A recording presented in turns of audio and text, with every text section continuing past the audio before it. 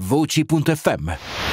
il sito delle voci. Sergio Friscia, ti ritroviamo al cinema in Compromessi Sposi, un ruolo molto divertente, sei un poliziotto. Sì, faccio il comandante della stazione dei carabinieri di Gaeta. Eh, personaggio particolare, mi sono divertito tantissimo, sono veramente contento di aver avuto l'opportunità di recitare accanto a Vincenzo che adoro e Diego, eh, persone meravigliose, molto generosi, veramente due grandissimi artisti, due mostri sacri come sono stati definiti più volte, questa cosa li ha fatti sorridere ma è vero, eh, molto molto carini anche nei confronti dei colleghi, eh, è nata molto,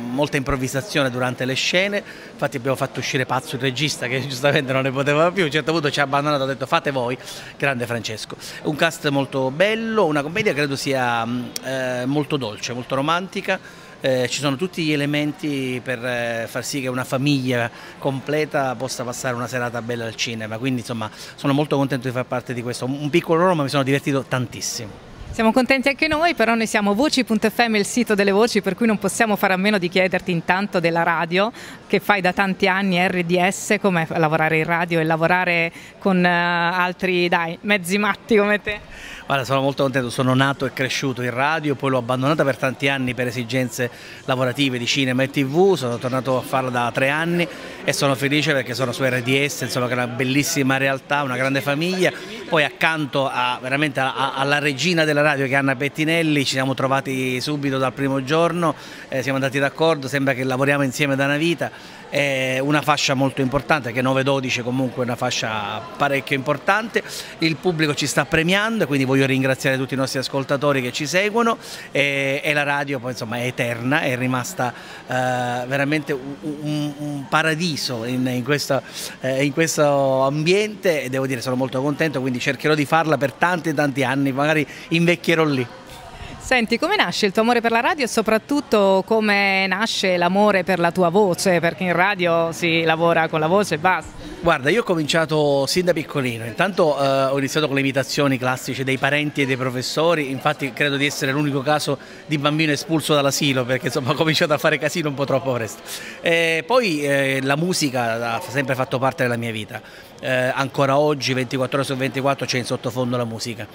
Eh, la radio credo che sia un'ottima scuola anche per chi vuole poi fare eh, un lavoro a 360 gradi come ho cercato di fare io in questi 30 anni, perché ti, eh, ti permette di eh, abituare il cervello a pensare velocemente, non puoi lasciare ovviamente i buchi che sembrano enormi, quindi devi pensare velocemente, devi imparare a improvvisare, a infilarti nella situazione, a rispondere eventualmente a un ascoltatore con il quale stai interloquendo. E devo dire che è un'ottima scuola per tutti, quindi lo consiglio, eh, consiglio assolutamente di farlo. E, e poi insomma è, è veramente eh, impari il mestiere perché quando ho cominciato a farla io ci facevamo tutto da solo, praticamente le cassettine famose da 30 secondi senza bianco in testa con la matita per portarle indietro e ci mandavamo i dischi da soli, potevamo scegliere, questo, ecco questa è una cosa che mi manca, il poter scegliere la musica durante la programmazione ormai è tutto lì stabilito, quindi non sei... Sono le playlist. Esatto, devi un po' sottostare a quelle che sono, però insomma noi siamo contenti perché passiamo la musica molto amata dal nostro pubblico, i 100% grandi successi, quindi piacciono a tutti. E quindi insomma sono veramente contento, mi diverto tantissimo, lì sono nati i primi personaggi che poi ho portato in tv, eh, ma per esempio i personaggi che poi eh,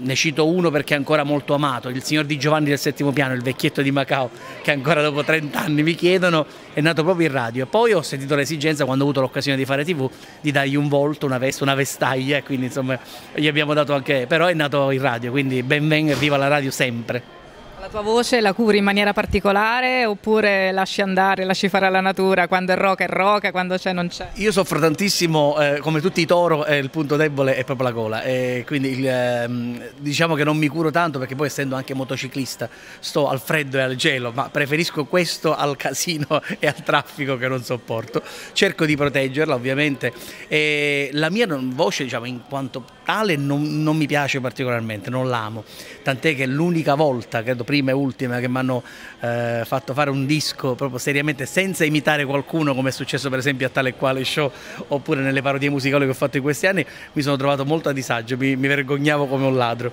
Però piano piano mi sono abituato. Poi comunque insomma, mi piace anche il fatto di, di, essere un po' sporco nel senso che non, non, non, non curo molto l'addizione in quello mi aiuta il fatto di essere riconosciuto come comico, quindi insomma mi, me, me, la, me la buonano certe cose. Uso molto spesso eh, frasi dialettali siciliane perché comunque la Sicilia ce l'ho dentro il cuore e mi diverto perché mi piace poi che molti ascoltatori mi scrivono è bellissimo questo termine, non lo conoscevano, oppure voglio, vogliono che spieghi proprio il significato, che molte cose sono intraducibili, che sono proprio o palermitane o siciliane. Quindi insomma mi, mi diverte e ci gioco molto, mi piace giocare molto con la voce e poi ti ripeto, mi continuo a, ad avere un grande spirito di osservazione, un orecchio musicale, quindi osservo molto quello che mi circonda e molto spesso prendo spunto anche dalle voci, eh, dai, dai, modi di, di, di fare che, che, che, sento in giro per creare magari qualche personaggio nuovo, quindi insomma ben venga. Insomma quando la radio è simpatia e divertimento, giusto? Assolutamente, io dico sempre non me lo fate diventare un lavoro, quindi per me è sempre come andare in sala giochi a divertirmi e quello è il bambino che è in me che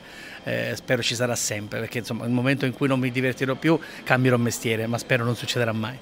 Un eh, bacione, un saluto grandissimo a tutti voi di Voci.fm da Sergio Frescia. Continuate a seguirmi e grazie di cuore. Chi lavora con la voce è su Voci.fm. Scarica l'app di Voci.fm gratis su App Store e Google Play.